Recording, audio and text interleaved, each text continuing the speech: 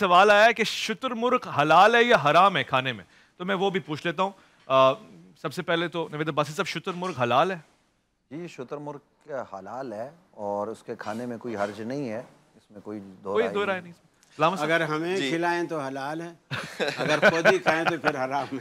रोज़े में खिलाएँ तो क्या है फिर?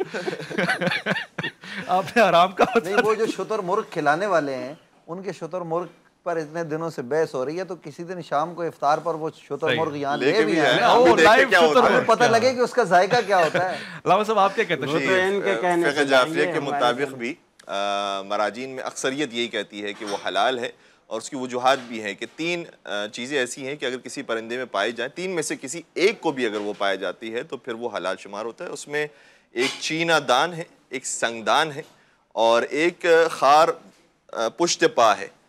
और इसके अलावा ये कि वो दो चीज़ें भी नहीं हैं इसके अंदर कि जो वहशी के वहशी जानवर के अंदर होती है कि उसके दांत भी वैसे नहीं हैं और उसके पंजे भी वैसे नहीं हैं कि जैसे वहशी जानवरों के होते हैं। हाँ, इस तो इन वजूहत की बिना पर इन वजूहत की बिना पर शुतुरमुर्ग हलाल है। ठीक है तो वाले होते हैं।